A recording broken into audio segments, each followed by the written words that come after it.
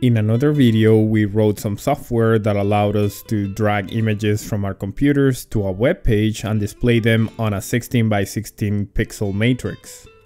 A popular request in the comments has been how to modify the software so that it can display animations. Today, I'm going to show you how to modify the Arduino code so that you can drag and drop multiple images and display them on the LED matrix at a particular frame rate so that it can form an animation. Alright, let's do this.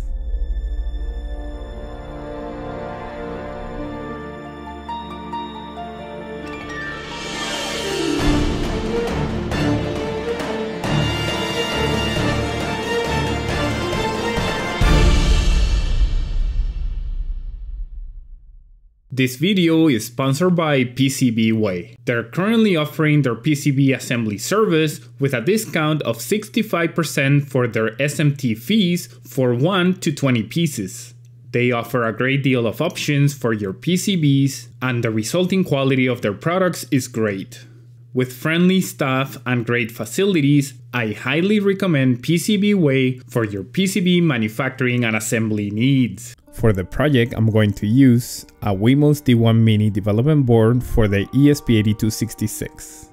I'm also going to use a prototyping shield, a 2x1 baseboard so that I can connect the two boards together without the needs of wires, an 8x8 matrix of WS2812B LEDs on a flexible PCB, and a JST wire to connect the matrix to the ESP8266.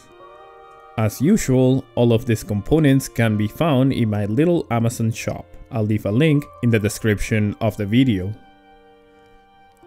Assembly is straightforward. I need to do a little bit of soldering and for that purpose I'll use a half-size breadboard to straighten up the pins. You can follow along the process or skip ahead if you're ready to look at the software side of things.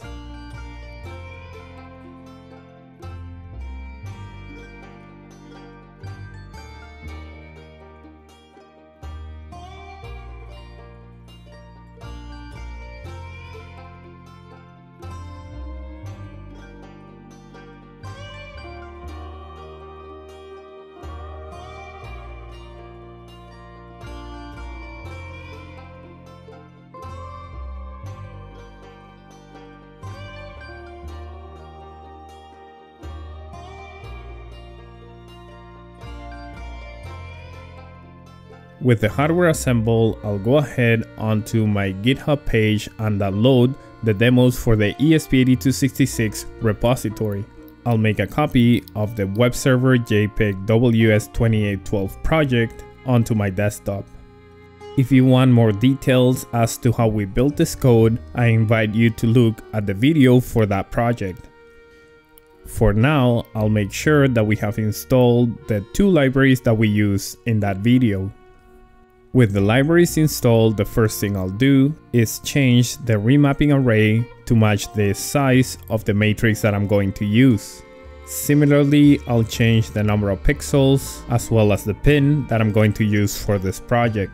I'll go ahead and fill out my network ID and password so that the ESP8266 is available over Wi-Fi.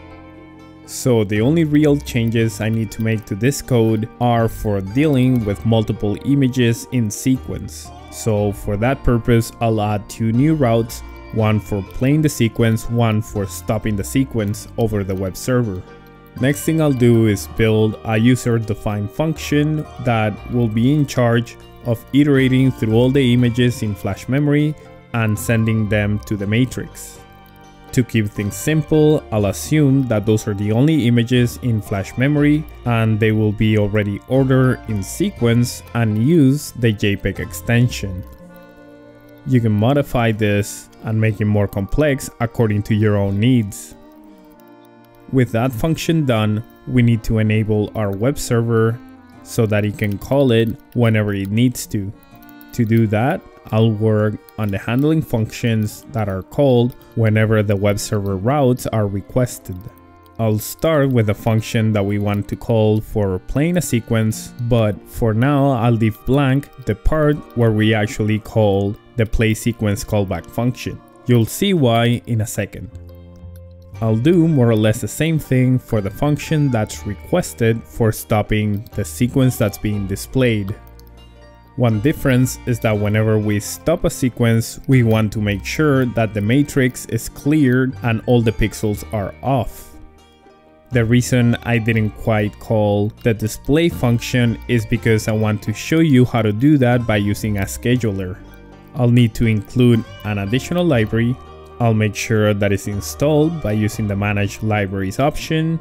And in order to use the scheduler, I'll need to declare a few things. First, a prototype of the function that we're going to be running for displaying the images. Then an instance of the task class that will be scheduled to run inside the loop function of our code.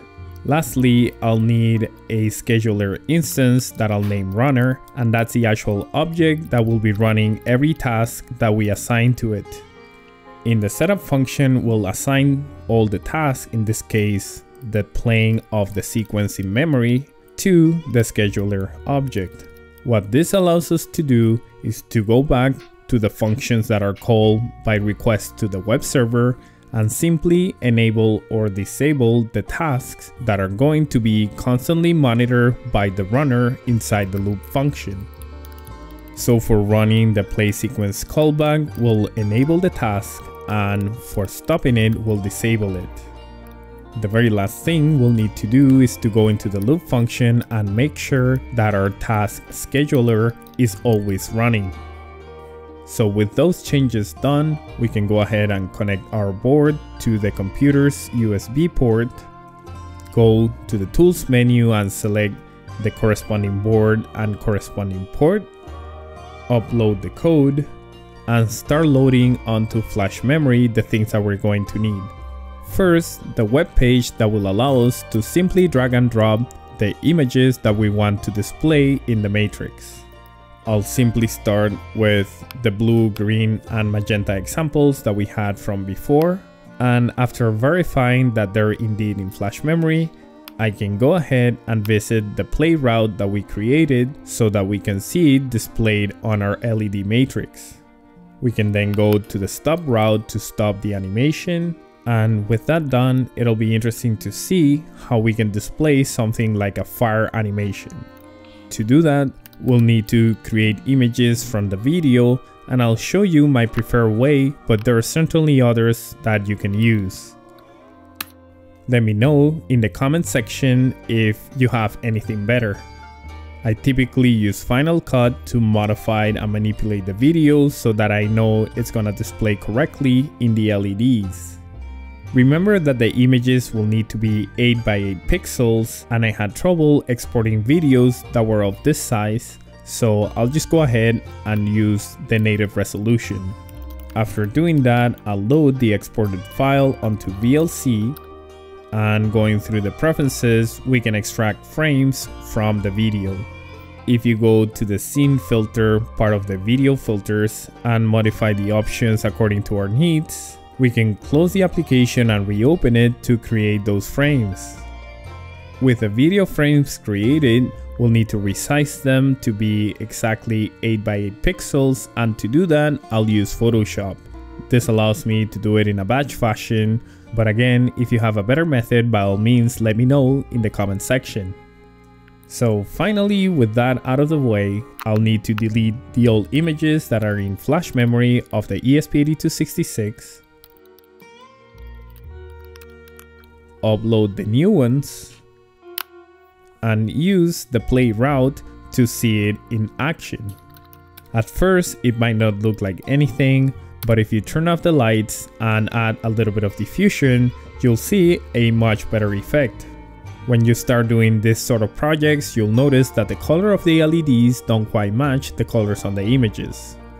I'll leave a link in the description of the video that tells you more why that is, but by simply adding a correction matrix, we can certainly improve this artifact. We'll also make sure that the values in this matrix are being used by our display function. So when we re-upload the code and visit the play route so that the animation starts, we can see a much better version that matches the video as we saw it on the computer screen. So there you have it.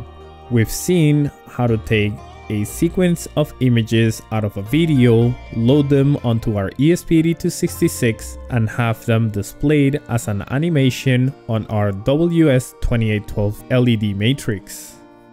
If you like my videos, I invite you to my Patreon page where you can chip in a buck or two.